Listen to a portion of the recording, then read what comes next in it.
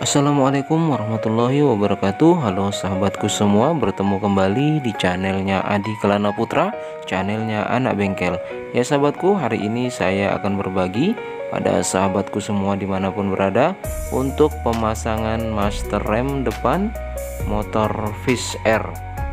Kebetulan pada master rem ini saya menggunakan master rem OSK ya sahabat jadi di sini saya sedikit berbagi kepada sahabatku semua di mana pun berada untuk pemasangan master rem ini agar cepat pakem.